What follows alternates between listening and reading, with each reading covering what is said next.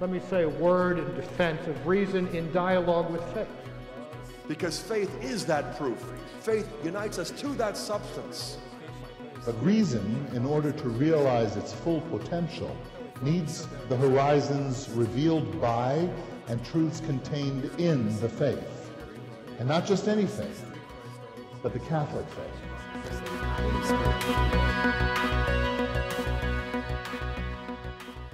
Well, I would propose to you that in order to understand it, we really need to grasp the Old Testament allusions, the, the, this, the references to salvation history that are found in Revelation 20. Uh, many of our non Catholic friends will tell us that it has to be a literal reign on earth because God promised this to David. They'll point out in 2 Samuel 7 that God said that David would have a kingdom and that this kingdom would be given, be on earth. So, therefore, in order for this promise to David to be fulfilled, we have to have that earthly political reign of Jesus. As I'll explain in a minute, I think we can understand that Jesus fulfills that in an even more profound way than simply through an earthly fulfillment. Uh, let's look at that promise, by the way, in 2 Samuel 7. God says to David, When your days are fulfilled and you lie down with your fathers, I will raise up your offspring after you, who shall come forth from your body, and I will establish his kingdom. He shall build a house for my name, and I will establish the throne of his kingdom for a thousand years. Oh, wait, that's not what it says. Forever, right? Forever. So, how does God fulfill this promise to David? That his son would build a house for his name and that he would reign for a thousand years. Well, I think that's what Revelation 20 is helping us to look at and understand. All right? Uh, how do we interpret Revelation 20? Again, we got to understand the Old Testament context. And when you look at the passage closely, you'll see all sorts of allusions that are especially linked to the Davidic covenant. All sorts of images that are tied to the Davidic covenant. It's interesting, it describes the devil being bound for a thousand years. Isn't it, is it just a coincidence? Isn't it remarkable that David begins his reign in 1000 BC?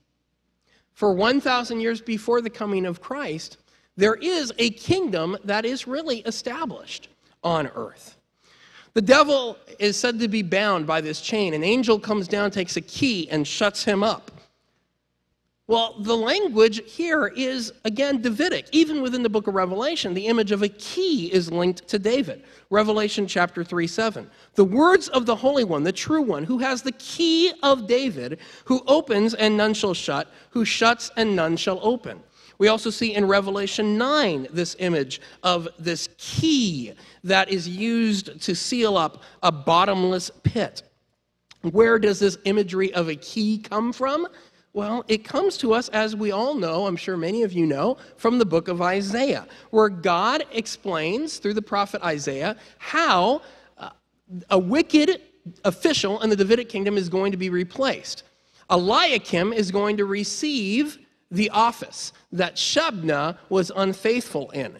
And we read in Isaiah 20 this, In that day I will call Eli- I will call my servant Eliakim, the son of Hilkiah, I will clothe him with your robe and will bind your girdle on him, and will commit your authority to his hand, and he shall be a father to the inhabitants of Jerusalem and to the house of Judah. And I will place on his shoulder the key of the house of David. He shall open, none shall shut. He shall shut, none shall open. In Revelation 20, we read about an angel that comes down with a key and he shuts up the devil in this bottomless pit ancient readers would have understood, especially given the fact that Jesus has already been described as the one who holds the keys, right? In Revelation 3 7, the key of David.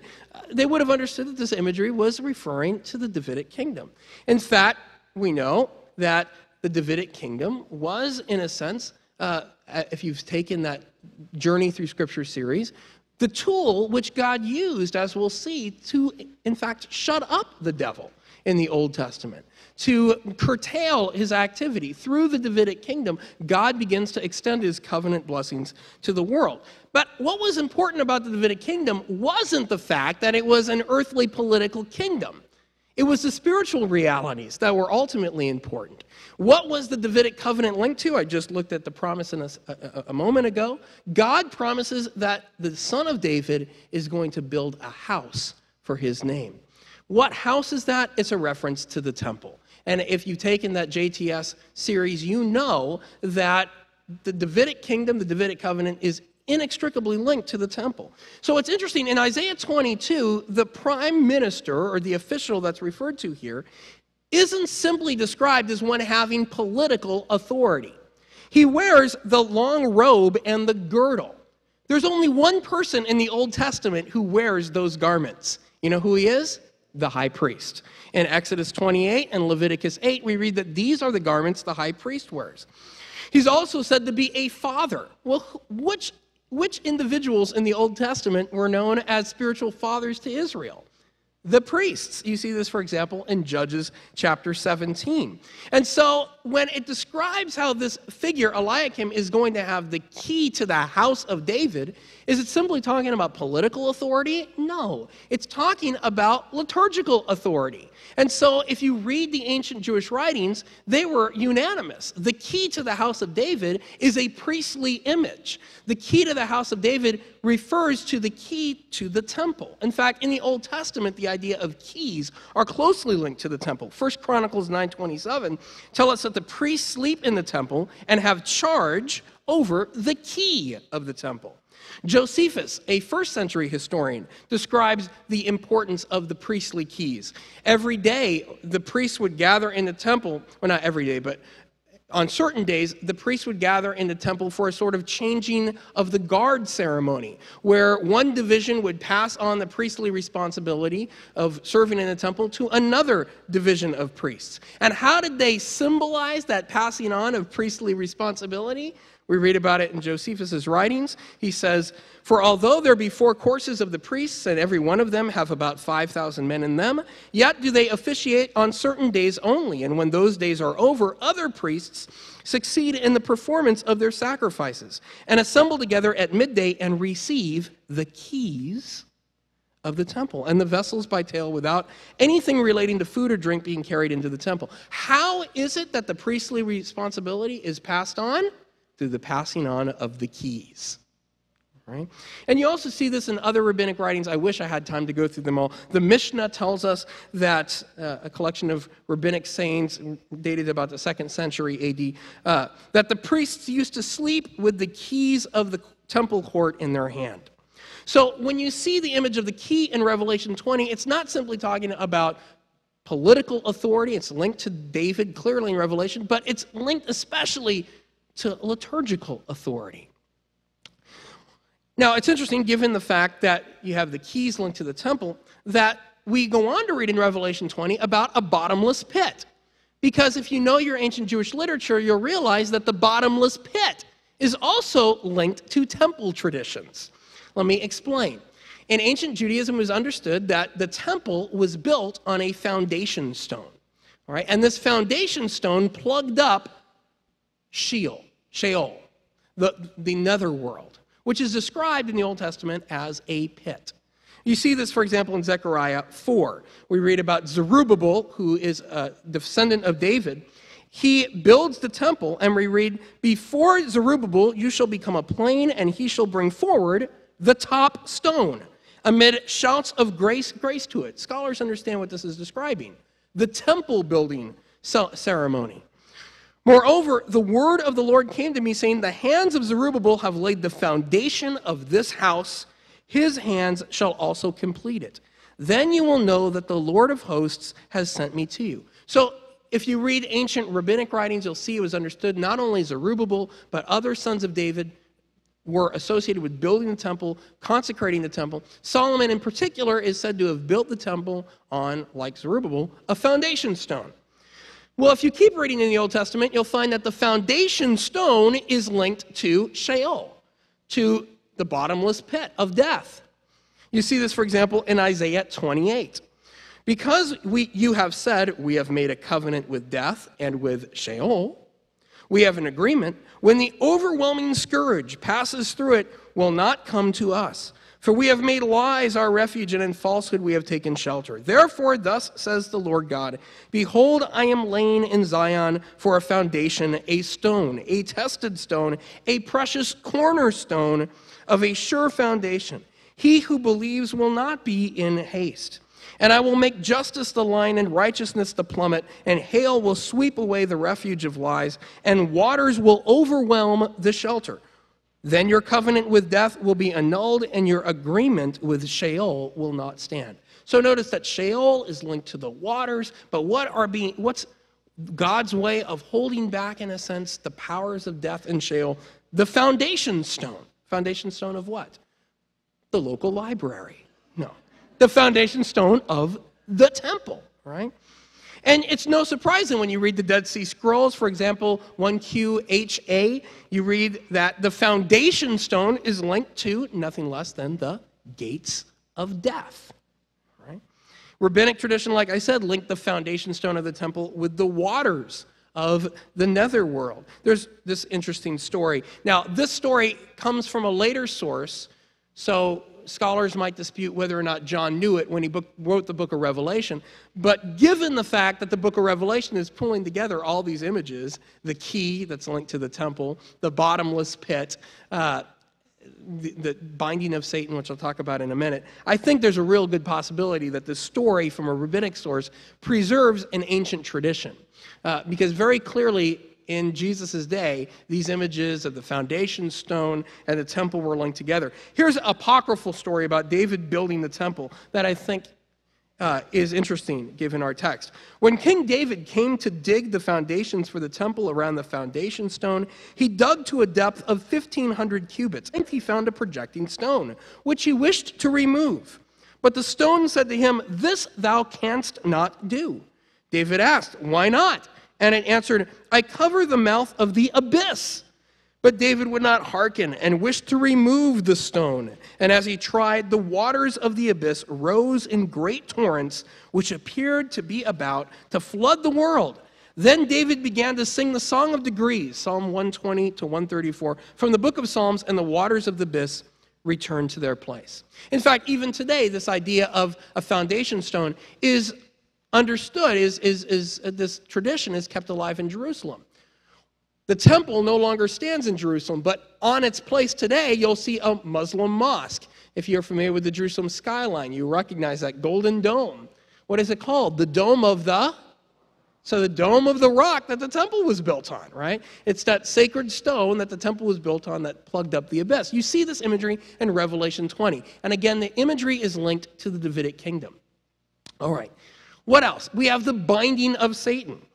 The binding of Satan, the angel comes down, binds him with a chain. It's interesting that binding the devil is language for exorcism in the Bible.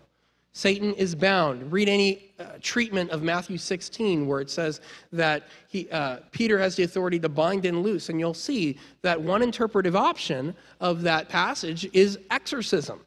Jesus is giving Peter the authority to cast out demons because that language of binding and loosing is linked to spiritual warfare. And so it's not a surprise. Here we have another Davidic image. David and Solomon were known as exorcists. You see this, for example, in 1 Samuel 16. We read, The Spirit of the Lord departed from Saul, and an evil spirit from the Lord tormented him.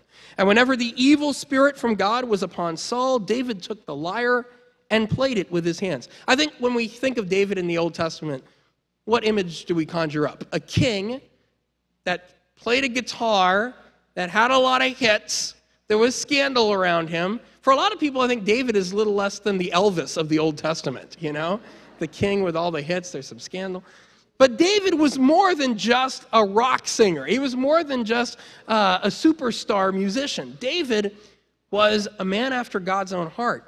And so, what's amazing about David's songs is that when David sings, they actually have exorcistic, they actually have the capacity to drive out demons. They have exorcistic um, faculties, capabilities.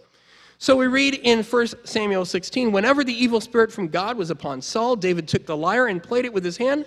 So Saul was refreshed and was well, and the evil spirit departed from him.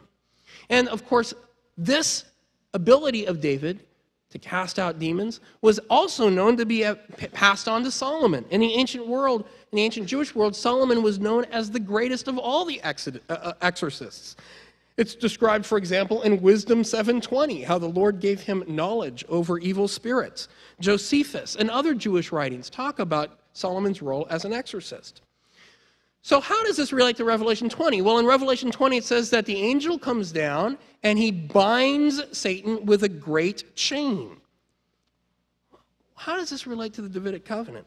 Well, I'd like to point out that the word exorcism exorcists, comes from a Greek term, uh, which means to oath out. How do you exorcise a demon? With an oath. How do you cast out the demon? With an oath. Let's see now. Is there any oath attached to the Davidic covenant? Let's see here. Yes, there is. We know that God gave the kingdom of David through an oath. And because of that oath, God's kingdom extends throughout the world. For one brief shining moment in the Old Testament, we see God's reign through the son of David being acknowledged not only by Israel but by the nations. In 1 Kings 4:21, we read Judah and Israel were as many as the sand by the sea. Sound familiar? Remember what God promised Abraham? Your descendants will be like the sand of the sea. They ate and drank and oh, that's a typo. Well, if you drink too much, then you would be happy, I suppose. sorry about that. Um, Judah and Israel were as many as the sand by the sea. They ate and drank and were happy. Solomon ruled over all the kingdoms from the Euphrates to the land of the Philistines to the border of Egypt. They brought tribute and served Solomon all the days. I can't believe I did that of his life. I'm sorry, it's kind of distracting. we know that through this oath that God swore to David, God's covenant was extended to the nations. David even understood this. In 2 Samuel 7, David says, And yet this was a small thing in my eyes, O Lord God. You have shown me a law for mankind in Hebrew, a Torah for Adam, a, a law for all humanity. The Davidic covenant isn't simply given for David's sake, it's not simply given for Israel's sake, but for all the nations. So, really, you have in the Old Testament a case where God swears an oath, and by doing so, Satan is curtailed. His activity is held back. Right? In the Davidic covenant, through the, through the ministry of David, who's not just a king, but a priest, through Solomon's ministry, he's not just a king, but a priest, through his authority, which is found not simply in his palace, but in the house of God, in the temple, which is linked with the key, through these realities, the devil is bound. And it is interesting. The word for exorcism, exorkizo, can also be translated putting under oath. Putting under oath. You see that in Matthew 6, uh, 26, 63. So, this tradition that, that Solomon was able to put people under oath, that he was an exorcist, that he was able to cast out demons, that he had authority over the evil forces, was encapsulated in a very interesting Jewish tradition. It was said that in Solomon's court there was a chain that held that hung from a ceiling. And when people would come in to give testimony in the court of Solomon, they would hold on to this chain. And if they told a lie, guess what would happen? The link in the chain that they held onto would miraculously drop from the chain. Right? Now, that's a, a nice story, but what it does is it illustrates Solomon's ability to cast out demons, to have power over evil spirits, to discern evil spirits, right? It emphasizes his authority in a spiritual way to bind Satan. So, this whole idea of putting under oath, of swearing, is linked to uh, Solomon's authority as an exorcist. So in Revelation 20, we have an angel who comes down and he brings a key to a bottomless pit. Satan is held up in that uh, bottomless pit because of a chain that he is bound by. How is the devil bound in the Old Testament? I would submit to you that, in fact, ancient Jews would have understood that in the Davidic kingdom, Satan was bound for a thousand years in the ministry of the Davidic kingdom. Through the oath that God swore to David, he was the devil was, in a sense, exorcised. He was bound, he was chained, right? But it goes on to say that at the end of this time, he will be loose for a little while. Well, what might that refer to? Well, look at what happens in the Gospels. Jesus explains that in his day, which would be the end of the thousand years, the thousand years of the earthly Jerusalem, the thousand years of that earthly prototype of what is to come, Jesus explains in that time, the people were more wicked than any other generation who had ever lived. In Matthew 11, Jesus says, Woe to you, Chorazin! Woe to you, Bethsaida! For if the mighty works done in you had been done in Tyre and Sidon, wicked nations of the Old Testament, which were judged by God, they would have repented long ago in sackcloth and ashes. But I tell you, it shall be more tolerable on the day of judgment for Tyre and Sidon than for you. And you, Capernaum, will you be exalted to heaven? You shall be brought down to Hades. For if the mighty works done in you had been done in Sodom, it would have remained until this day. But I tell you, get this, it shall be more tolerable on the day of judgment for the land of Sodom than for you. Wow. Matthew 12, Jesus says, The queen of the south, that is the queen of Sheba, who came and heard the wisdom of Solomon, the queen of the south will arise at the judgment with this generation and condemn it. For she came from the ends of the earth to hear the wisdom of Solomon, and behold, something greater than Solomon is here. And then Jesus has something very scary to say. When the unclean spirit has gone out of a man, he passes through the waterless places, seeking rest, but he finds none. The waterless places. Uh, there is likely a link here to the waters of Sheol and and the netherworld, but I don't have time to get into it. Verse 44 Then he says, I will return to my house from which I came. And when he comes, he finds it empty, swept, and put in order. So an unclean spirit comes out of a man, he's driven out. Then he returns and he finds that man holy, sanctified. His soul is clean and swept. Then he goes and he brings with him seven other spirits more evil than himself. And they enter and dwell there, and the last state of the man becomes worse than the first. I don't know if any of you have been involved with youth ministry. I have been involved with this. and you'll do retreats, and you'll see these kids catch on fire for the Lord.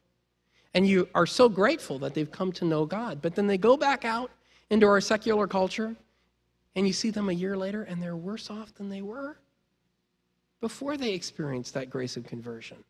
And it doesn't just happen to teenagers, but to people at all stages in their life. These are scary words. It's one thing to not understand the gospel, it's another thing to hear it, to understand it, and then to not put it into practice. But look at what Jesus says. He's not simply speaking about an individual person. He says, So it shall be with this evil generation. Jesus explains that his generation is the most wicked of all the generations who have lived. If there's ever a time when it seems that Satan has been loosed for a little while, it would seem to apply to his own day.